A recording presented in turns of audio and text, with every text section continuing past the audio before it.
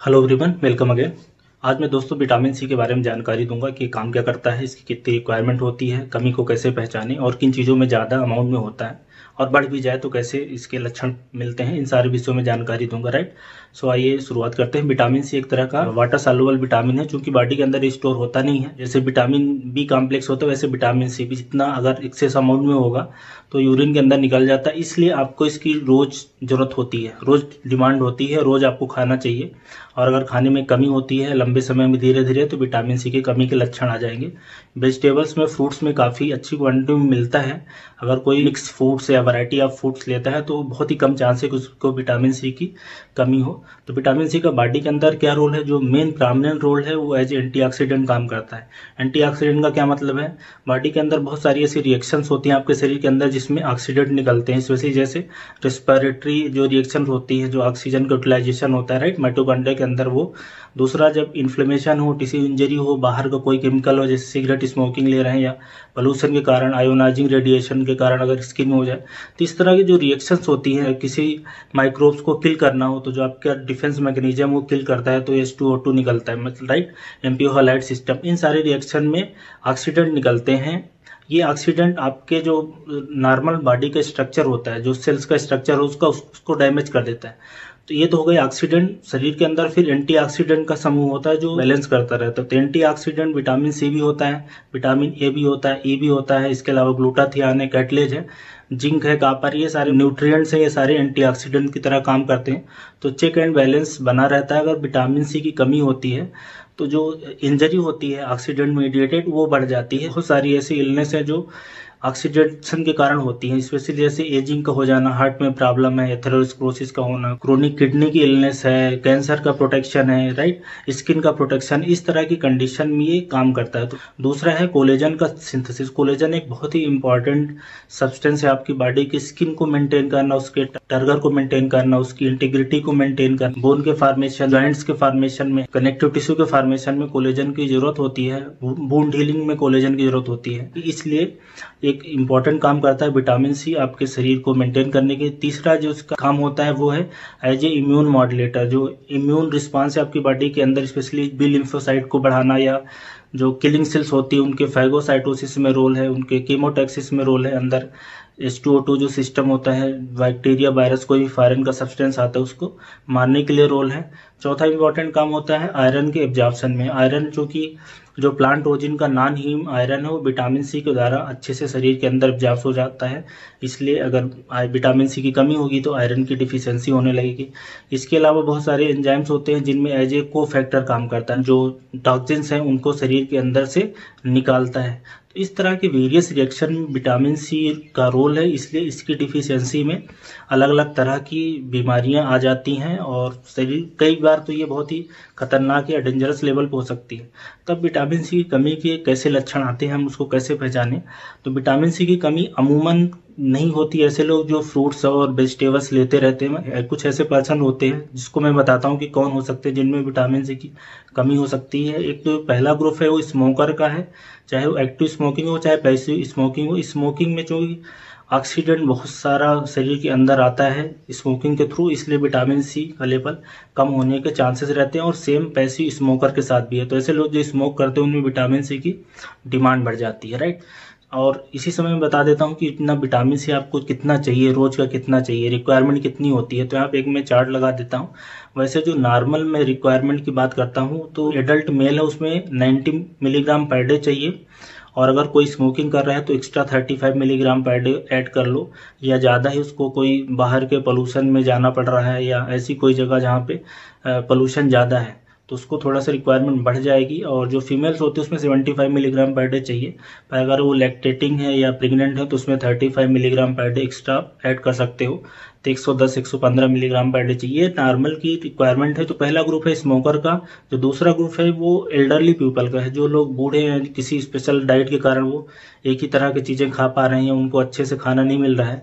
या ऐसे लोग जो खुद से खाना बनाते हैं राइट तो उनमें भी एक चांसेस है कि हो सकता है एक जैसे ही खाना खा रहे हैं। या कुछ ऐसे लोग होते हैं जो किसी रिचुअल्स के कारण या किसी कारण बस एक ही तरह के खाना खा पा रहे हैं वैरायटी ऑफ़ फूड्स नहीं ले पा रहे हैं। ऐसे बच्चे जो हॉस्टल्स में रहते हैं, एक जैसे ही फ़ूड काफ़ी दिन से मिल रहा है। तो ये कुछ लोग हो सकते हैं जिनमें विटामिन सी की कमी हो सकती है। लंबे समय में जो छोटे बच्चे इन्फेंट्स हैं, एक साल से कम के हैं, अगर उन्होंने मदर का दूध छोड़ दिया है और काऊ मिल्क पे आ गए हैं, तब विटामिन सी की उनमें कमी हो सकती है। या तो उनका मिल्क ज़्यादा उबाल के दिया जा रहा है, बॉइल्ड मिल्क है राइट वेपराइज मिल्क इनमें से बॉयल करने से विटामिन सी कम हो जाता है। बॉयल करने से भी कम हो जाता है और स्टोर करने से कम हो जाता है। और हाई रिस्क ग्रुप की और बात करें, जो इंपॉर्टेंट ग्रुप होता है, ऐसे लोग जिनको क्रोनिक इलनेस स्पेशली जो कैंसर के लोग हैं, जो डायलिसिस पे हैं, जो क्रोनिक किडनी की बीमारी से जूझ रहे हैं या कोई पेट से संबंधित बीमारी से माल एब्जॉर्प्शन से जूझ रहे हैं, उनमें भी विटामिन सी किया तो कुछ में रिक्वायरमेंट बढ़ जाती है क्रोनिक इलनेस में और कुछ केसेस में, चूँकि एब्जॉर्ब नहीं होगा तो ये सारे मेन ग्रुप लो हैं। इस तरह के लोगों में विटामिन सी की कमी हो सकती है। नॉर्मली विटामिन सी की कमी नहीं होती। पिछले पहले के ज़माने में बहुत सारे लोग जो यात्राएँ करते थे, विदेश की यात्राएँ, जो सेलर वगैरह हुआ करते थे, वो चूँकि तीस तीस दिन चालीस चालीस दिन, सालों, महीनों बाहर रहते थे, उनमें विटामिन सी की कमी होती थी और इसका भी एक जो अभी मैं कंडीशन बताऊँगा, उसके कारण उनकी मृत्यु हो जाया करती थी। तो ये बेसिकली इस तरह के ग्रुप के जो व्यक्ति हैं, उनको विटामिन सी की कमी होने के चांसेस है। अब कमी यूजली कब होती है विटामिन सी? ऐसा कोई व्यक्ति जो रोज का 10 मिलीग्राम पर डे से कम ले और एक महीने या दो महीने अगर लगातार कमी बनी रहती है, तब विटामिन सी की कमी हो जाती है राइट और अक्यूट अगर डिफिशियंसी हो जाती है सडन कमी होती है तो उस कंडीशन में स्कर्वी बीमारी होती है और अगर ग्रेजुअली धीरे धीरे होती है तो उसके लक्षण थोड़े अलग आएँगे। स्कर्वी में यूजली क्या होता है? शरीर के अंदर जो ऑक्सीजन बनना होता है ऑक्सीजनेशन की जो प्रोसेस है, जो एनर्जी का प्रोडक्शन होता है, वो कार्निटिन मेटाबोलिज्म कमज़ोर हो जाने से एक तो थकान बनी रहती है, कमज़ोरी से लगती है, ऐसा लगता है कि शरीर अस्वस्थ है, और दूसरा कोलेजन के डिग्रेडेशन से, कोलेजन कम होने से गम के अंदर मसूड़ों में स्वेलिंग हो जाना और मसूड़ों में से खून निकलना। ये एक कॉमन प्रॉब्लम होती है अक्यूट स्कर्बिंग वैसे अगर धीरे धीरे किसी में कम हो रहा है विटामिन सी तो यूजली जो लक्षण आते हैं, वो कोलेजन की कमी के कारण आते हैं। कोलेजन जैसे रिड्यूस होगा, वैसे ही स्किन के अंदर एक तो स्किन लस्चरलेस हो जाती है स्किन के जो हेयर होते हैं वो स्क्रू, कार के स्क्रू शेप हो जाते हैं टेढ़े मेढ़े हो जाते हैं वो पेरीफॉलिकुलर हेमरेज के कारण। स्किन का शुष्क हो जाना, स्किन के अंदर सैंड पेपर या पेरेंस हो सकता है पिन पॉइंट हेमरेज हो सकते हैं पटेची हो सकती है, या इवन परप्यूरा हो सकता है, क्योंकि कोलेजन ब्लड वेसल को सपोर्ट करता है, इसलिए ब्लीडिंग के जो चांसेस हो बढ़ जाते हैं। तो नेजल ब्लीडिंग हो सकती है कुछ केसेस में, अगर किसी को चोट लगती है राइट तो बोन हीलिंग डिलेड हो जाएगी। कहीं इन्फेक्शन होता है तो उसका घाव थोड़ा देर से भरेगा। इस मसल्स के अंदर पेन हो सकता है मस्कुलर पेन हो सकता है जर्नल बॉडी के अंदर कमज़ोरी हो सकती है राइट एनीमिया हो जाता है, क्योंकि विटामिन सी आयरन के एब्जॉर्प्शन को प्रमोट करता है, इसलिए आयरन की कमी होगी, उससे एनीमिया होगा।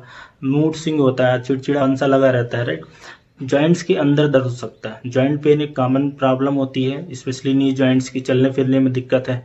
ऐसे बोन के अंदर डिफार्मिटी हो जाना बोन भी कमज़ोर हो जाना तो ये कुछ लक्षण होते हैं जो विटामिन सी की कमी के कारण होते हैं।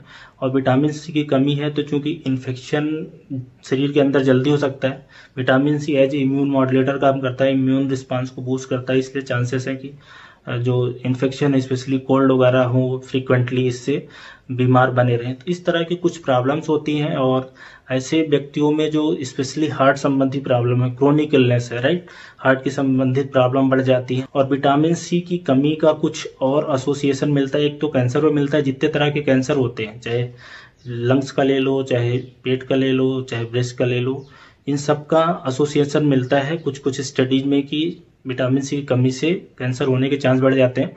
उसकी जो हाइपोथेसिस दी जाती है, एक तो ऑक्सीडेंट का लेवल बढ़ जाता है और दूसरा इम्यून रिस्पांस भी कम हो जाता है। विटामिन सी, कार्सिनोजेंस को रिमूव करता है बॉडी से। तो ये सारे वेरियस मैकेनिज्म मिला के कैंसर का इंसिडेंस बढ़ता है। दूसरा हार्ट की बीमारी का इंसिडेंस बढ़ता है। अगेन ड्यू टू एक तो बढ़ता है कि आर्थरोस्क्लोसिस के चांसेस बढ़ जाते हैं। जो ब्लड प्रेशर है वो बढ़ता है। जो नाइट्रस ऑक्साइड जो बेसो डायलेटर की तरह काम करता है, उसका लेवल कम हो जाता है। इसी तरह किडनी की जो प्रॉब्लम्स है, उनका बढ़ जाना या आँख के संबंधित प्रॉब्लम है कैटरेक्ट का फॉर्मेशन हो जाता है राइट तो इस कुछ तरह की बीमारियाँ हैं जिनके साथ विटामिन सी का लिंकअप आता है स्टडी में। कॉमन कोल्ड है, जो सर्दी, खांसी, जुकाम है विटामिन सी की कमी में।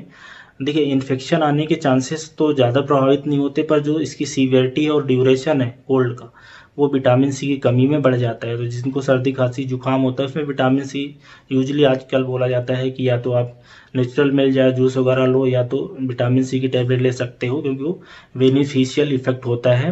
सर्दी, खांसी, जुकाम में राइट तो ये सारी कुछ कंडीशन है जो विटामिन सी की कमी में होता है। थोड़ी सी बात करते हैं कि विटामिन सी अगर बॉडी के अंदर बढ़ जाए तब किस तरह के लक्षण आते हैं?